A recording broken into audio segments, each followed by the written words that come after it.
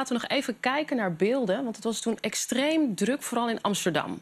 Eind van de middag trok de ME op naar het Vondelpark in Amsterdam. De politie greep in omdat het te druk was en mensen te dicht bij elkaar waren. Nogmaals, houd afstand. En wat vind je ervan, al die mensen over die hekken gaan? Ja, ik vind het geweldig.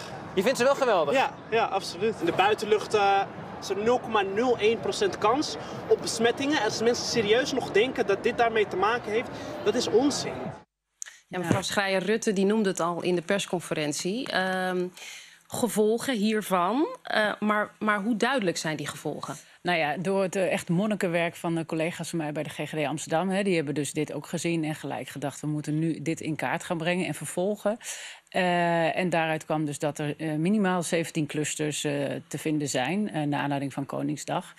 Uh, ja, dat zijn dus eigenlijk alleen de clusters van mensen die we gezien hebben... die in Amsterdam uh, zich hebben laten uh, getest zijn of inwoners zijn van Amsterdam. Dus waarschijnlijk zijn die clusters veel groter. Dus om hoeveel mensen het, gaat het? Nou, om zo'n ja, wat we nu in beeld hebben, maar het beeld wordt nog compleet gemaakt. Hè, mm -hmm. Dus het totale plaatje moet nog volgen. Ja. Gaat het om zo'n 466 mensen die aangeven dat ze besmet zijn geraakt... rondom een feestje, rondom Kon ja. Koningsdag.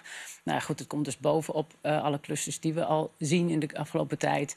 Uh, en, en thuisfeestjes en dat soort dingen. Dus zegt u eigenlijk vrij stellig, die beelden die we net zien... daar zijn 500 mensen besmet van geraakt? 466? Minimaal. Minimaal. Minimaal. Ja, dat is echt het topje van de ijsberg. Terwijl we het tegelijkertijd zien... ik dacht vandaag, de cijfers gaan naar beneden. Nee, maar het, het is met name... geen gevolgen van nee, Koningsdag. maar je ziet dus specifieke groepen... en ik denk dat we dat straks in de, in de rest van het jaar nog steeds meer gaan zien... dat je met name in bepaalde pockets van mensen... juist uh, clusters gaat zien.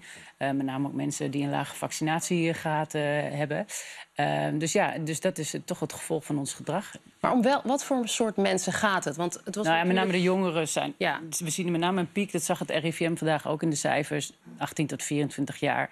Dat is de enige groep die nog stijgt. Ja. Maar, maar, wij op de IC in de maand maart en april zien wij dat de leeftijd van de IC blijft ongeveer hetzelfde. He, dus voor, om niet op de IC te komen is het vaccineren ongelooflijk belangrijk, he, die 60-plussers. Wat we nu zien in de maand maart en april, dat de leeftijd in de ziekenhuisopname is gemiddeld met vijf jaar lager geworden. Dus daar zien we jongere mensen, en nog niet de jongste, maar jongere, meer jongere mensen die opgenomen worden in het ziekenhuis. Mm -hmm. Die worden aanvankelijk behandeld met zuurstof en twee, drie medicijnen. En dan hoop je dat ze beter gaan en dat ze weer naar huis toe kunnen.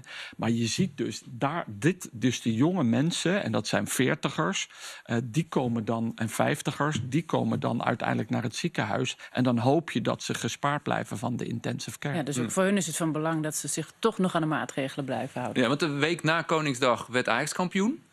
Ja, uh, dat was ook een feestje. Dat volgen we ook en dat volgt nog, die cijfers. Ja. Ja. Is, is daar iets over te zeggen? Nee, daar kan ik nog niks over okay. zeggen. Ja. En